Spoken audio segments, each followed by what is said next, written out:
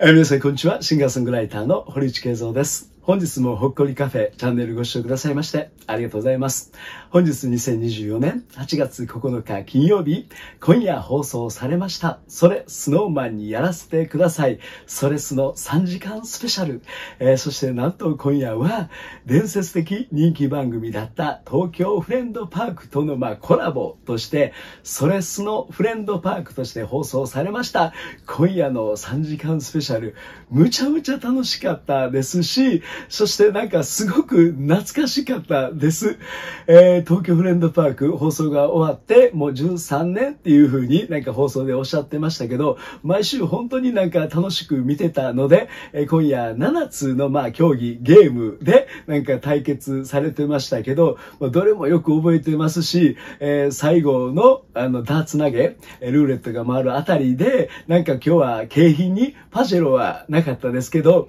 なんかこうパジェロ、Sí. No, パジェロっていう、あの、いつもの掛け声さえ、なんか聞こえてきそうな、そんな懐かしい、なんかそんな思いでも今夜は楽しませていただきました。また今夜の3時間スペシャル見ながら、なんかすごく感じたのは、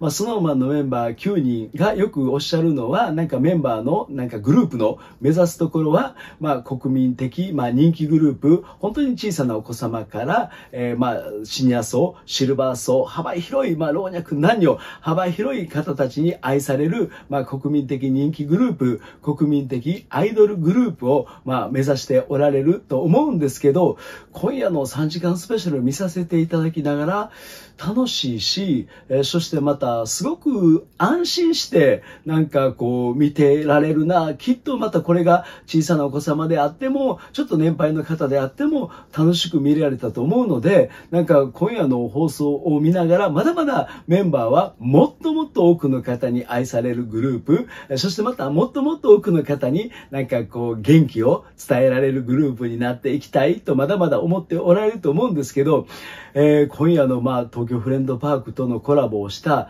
3時間スペシャルを見させていただきながら、もうまさに今夜の放送なんかでのこのスノーマンはなんか国民的人気グループ、国民的アイドルグループ、なんかそのものやなってそう、なんかそうなってるなっていうのを、なんか改めて今夜の放送を見ながら、なんか感じました。今までも、まあ動画の中で時々お話してるのは、まあ国民的人気グループの系譜として、まあ SMAP、嵐、えーそしてまあ Snow Man、っていうなんか、まあそういう言い方を時々してるんですけど、今夜の放送を見させていただきましたら、まさにまあ国民的人気グループだった SMAP、嵐、このやっぱりなんか偉大なる大先輩の系譜をしっかりとなんか継いでおられるなと今夜の放送を見ながらなんかすごく私はまあ感じました。またぜひ皆さんの今夜の3時間スペシャルを見られてのなんか感想もまたコメントでまた教えていただけたらありがたいなと思っております。そしてまたなんとその競技、その東京フレンドパークのセットを使ってあの形式で放送するだけではなくて、なんとこの冒頭のところでは関口博さんがなんかスノーマンの楽屋まで来てくださって、そしてまたもう後継者として指名しますなんていうふうに言ってくださったので、なんか改めてやっぱりまあ TBS でもう本当にスノーマンをもうなんかこう前面に打ち出してなんか TBS 曲の顔としてなんかこれからなんか頑張ってほしいななんかそんな期待さえ感じましたので関口博さんとまたスノーマンとのあの対面みたいなところもなんかその冒頭に流していただいたのでなんかそのあたりもねなんかすごく私はなんか感慨深い思いで見させていただきましたのでまあ7つ競技全部覚えていますしなんかすごく懐かしさを重ねて今夜の放送を楽しませていただいたんですけども大きくちょっと振り返らせていただきたいなと思いますのでぜひまた皆さんも今夜の3時間スペシャルでなんかすごく楽しかったところ皆さんの印象に残ったところなんか皆さんの感想なんかもコメントで寄せていただけたらと思いますのでよろしくお願いいたします。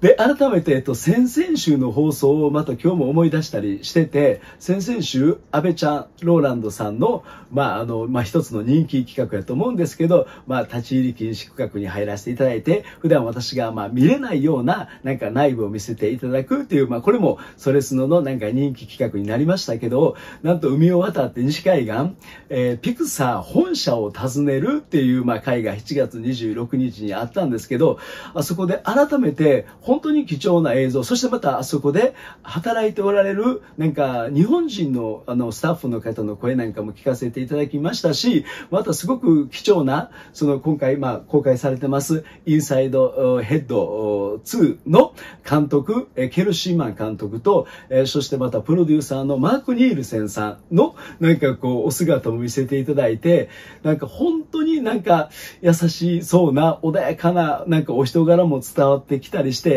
あの辺りの映像を見させていただいて、先週公開されましたインサイドヘッド2を、まあ、すぐに見に行ったので、私はあの、それスノのあの、ピクサーの映像を見てたから、よりなんかインサイドヘッド2、ああ、こういうスタッフの皆さんが、本当に数年にわたって、本当にも思いを込めて作られた作品なんやなっていうのを、なんかこう、重ねて感じたので、まあ、本当になんかこう、インサイドヘッド2を見させていただいて、改めて、なんか、それスノで見させていただいてる、なんか貴重な映像なんかもすごいなと思いながら見させていただきました。またでも改めて感じると、8月確か4日やったと思うんですけど、そのまあ、安倍ちゃんとローランドさんが海を渡り、そしてまた今、あの、アメリカの方になんかこう活躍の場所を移して頑張っておられる、なんかまあ、フワちゃんがアメリカで合流されて、まあ、いつものまあ、フワちゃんらしく、安倍ちゃんに対しても、ローランドさんに対しても、結構きつく、きついめの、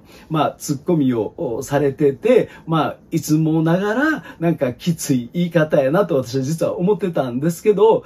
8月確かよくやったと思うんですけど、X で、えー、まあ、安子さんに、やっぱり絶対にこのまあ何があろうと言ってはいけない言葉を投稿されたことがもう今大きな問題になってもう CM を下ろされたりラジオ番組がなくなったりまた今収録してるこれから放送の番組なんかも検討されてるとのことなんですけどあれがそのピクサー本社を立ち入ったあの放送が2週間遅れてたらまああそこの、まあ、フワちゃん登場回だけをカットされるか。でも、もう随所によってやっぱり絡んできてはるから、全部をカットするのは難しいと思うので、ちょっと本当に放送できなかったかもしれないなと思うと、まあまあ、これを良かったという言い方はなんかまあ、あまり良くないかもしれないんですけど、まだ7月26日に、あの、貴重な映像を流していただいて、本当に良かったかなと思いました。で、このまあ、SNS を使っての、まあ、この暴言に関しては、まあ、今日はちょっとそれスノを振り返れますので、もうあの、あまりこれ以上触れないようにさせていただきたいなと思うんですけど、まあ、やっぱり絶対に、あの、許されることではないし、今回彼女が発した言葉も、やっぱり絶対に許される、やっぱりこの言葉ではないので、ここはやっぱりもう厳しいなんか対応をされても、それはもう仕方ないと思います。今なんかオリンピックの頑張ってる選手に対しても、個人的になんか攻撃されたりすることがすごく問題になってきてるから、まあ、ここもどこかで私も、まあ、ほっこりカフェとしてもなんか取り上げて、一回はちょっと皆さんになんかこう、まあ、提示するというか、まあ、こういう問題皆さんどういうふうに考えられますかっていうことを、なんか一つちょっとまた、あの、提案したいなと思うんですけども、なんか、まあ、それがあって、まあ、まあ、今回はその、それスノーの放送が、まあ、7月26日に、あの、ピクサー、その、本社を訪ねられる放送が、なんか放送できて、なんか改めて良かったなと、今夜の放送を見させていただいても感じたりいたしました。それでは今夜の放送、ちょっと大きくね、振り返らせていただきたいなと思ってるんですけども、えー、今夜なんかかいつもなんか3チーム、あの、カンコビレボリューションの時なんかも、まあ、スノーマンチームと、あと2チームにこうあって、この全部で3チームで競われるっていうパターンなんですけど、今回も3チームなんですが、スノーマンチームの他には、えー、国民的女子アスリートチームっていうことで、えー、まあ、サッカー、沢誉さん、そしてまた体操、田中理恵さん、スピードスケートの高木野田さん、そしてフィギュアスケートの村上佳菜子さん、全員オリンピックピアっていうことなんですけど、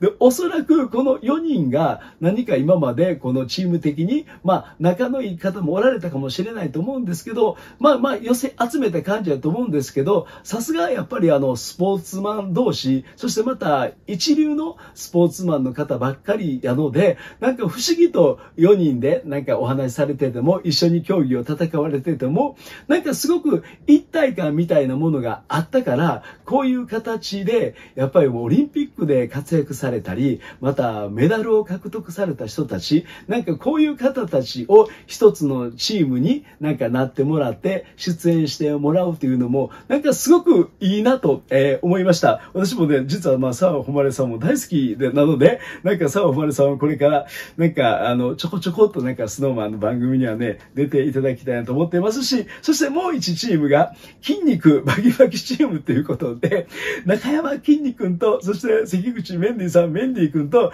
ABCD の塚田良一さん、塚ちゃんと、えー、そしてまたライジングなんかで、こうあの活躍されてます。私も、あの、選手としてもずっと大ファンなんですけど、レーナさんという、またこの異色の、異色の4人コンビやったんですけども、で、こちらの方が、また先ほどの、あの、女子アスリートチームが、なんか不思議な一体感があったんですけども、こちらの筋肉バキバキチームは、まあ、おそらくまだ個人人的交流もこの4人はなかったと思うので、なんかこう、一体感的なもの、チーム感的なものが、まだ今夜の放送では感じられなかったので、まあ、このあたりまた、なんかチーム的になんか見えてくる、なんかそんなチーム構成にしていただけたらなと思うんですけど、で、まあ、中山きんに君、関口メンディーさん、まあ、メンディー君も、まあ、ものすごい鍛え上げたいい体をされてると思いますし、なんか先だってはもう、あの、LDH を、まあ、対象されたので、本当になんか自由な身になって、まあ、これからスノーマンとどんどんなんか絡んでいただけたらなと思うんですけど、キンニ君とメンディ君と、なんかキャラ的にこうぶつかってしまうから、なんかこう、メンディ君の良さが、なんか筋肉に隠れて、ちょっと出づらいかなと思うので、なんかどちらかがリーダーになられて、また違うメンバーを集められた方が、筋肉にしても、メンディ君にしても、なんかどちらも活かせれるのかな。二人が一緒に出てしまうと、ちょっとキャラ的になんかぶつかってしまって、なんか私はちょっともったいないかなっていう、まあ、感じがいたしましたが、なかなかまあでも本当に楽しいメンバーだったと思います。で、えっと、7つの、まあ、競技、ゲームでまあ戦われて、で、なんといっても最初のあの、ウォールクラッシュは、やっぱりこのフレンドパークで、なんか一番印象に残ってるし、で、あれはやっぱり本当に今出演された方が、絶対に一番上まで行きたいと思われてるし、またこの運動神経、反射神経の言い方なんかは、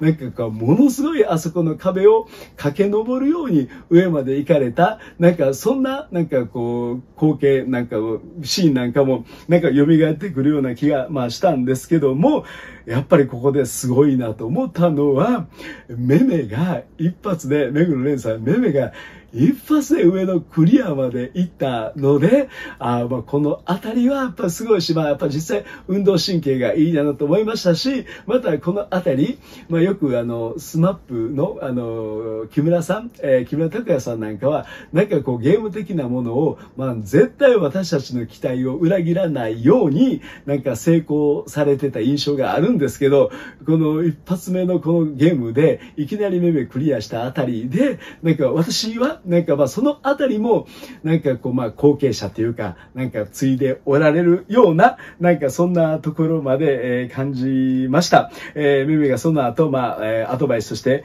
えー、僕はクリアしか見てなかったので、ということで、さくんが漫画、漫画の主人公かよっていうふうにね、あの、あの、えー、ツッコミ入れてましたし、なんか随所になんかむちゃむちゃ面白いツッコミ、で、またいつも私この場でのラウル君のフリーのツッコミが、まあすごくなんか好きなんですけど、なんかそのあたりもすごいまあ楽しい回でした。またメンディーさんなんかもね、結構この、あの、ウォールクラッシュはやっぱりものすごい筋力があっても、やっぱり体の重い人はね、やっぱりあのひっつくので、やっぱり体重を支えられへんと思うので、まあこのあたりもね、なんか久しぶりにあのウォールクラッシュ見させていただきて面白かったです。でも全部の競技をね、やっぱり覚えてるもんやなと思って、ネバーワイプアウト、で、フラッシュザウルス、ストッパーキューブリッジ、で、タイムアタック3のなんかこうゲームをクリアするのも、なんか今日もやっておられたあの、えー、ハンバーガーを、あの、ポンポンとこの飛ばすやつは、あれもなんか覚えてるなと思いましたし、えー、そしてまたクイズボディブレインで、このランニングマシンを走っておられるのも、あ、あ、これもあったあったと思いながら、そしてなんといっても7つ目、最後のまあゲームであります、ハイパーホッケーはいつも必死になって見てました。し、あそこで、えっ、と、あの、本邪魔かの二人、めぐみさんと、あの、石塚さんが、もういつも立ちはだかってこられたんですけど、あ、そういえば、あのゲームだけは、その絶対に、そのどんなスーパースターが出てきたとしても、また相手がその女性、女優さんやったとしても、手を抜かずに、もう容赦なく、その二人が、本邪魔かの二人が、憎たらしいぐらい強く、あの、買っておられたなと思いましたし、また今回同じようなタイプで出てこられたのが、えー、見取り図やったのもね、なんか面白い、なんかこう、キャスティングかなと思いました。そして結果、やっぱりまあハイパーホッケーのところで、最後まあスノーマンも勝ったというところもあって、まあスノーマンが優勝して、まあビッグチャレンジ、えー、そして8枚のうち5枚をなんかさらにいいダーツに変えて挑戦っていうことやったんですけども、で、ここで冒頭に言いましたように、昔はもうパジェロ、パジェロだったんですけども、なかなかやっぱりあの、